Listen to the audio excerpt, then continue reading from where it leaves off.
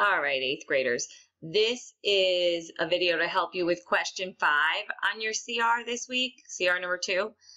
I'm going to just show you how to do this using the standard algorithm. There's lots of ways to divide up fractions, but for now I'm going to use the standard algorithm and then if I need further explanation, I will.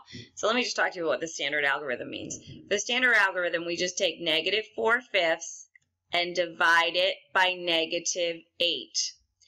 Negative 8 is the same as negative 8, negative 8 over 1. So you want to write, if you have whole numbers, rewrite that whole number as a fraction.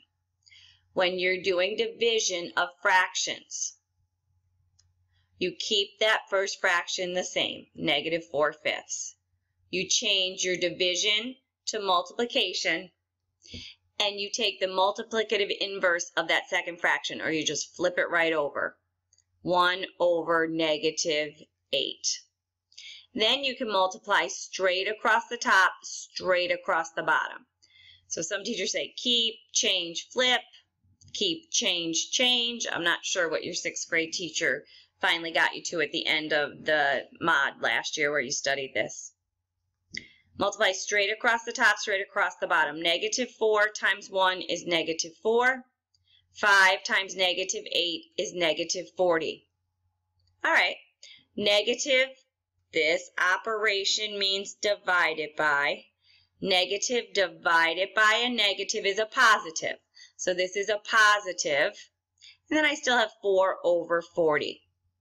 Now I can simplify this fraction to write it in simplest form. I can divide my numerator and my denominator by 4. 4 divided by 4 is 1. 40 divided by 4 is 10. So the final answer here is 1 tenth.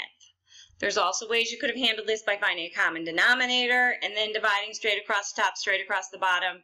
But in general, most students get to the point where they keep the first fraction the same, they change the division to multiplication, and they flip over that second fraction. Then they simply multiply straight across the top, straight across the bottom, and simplify. All right, I hope that was a quick reminder of how you need to divide fractions.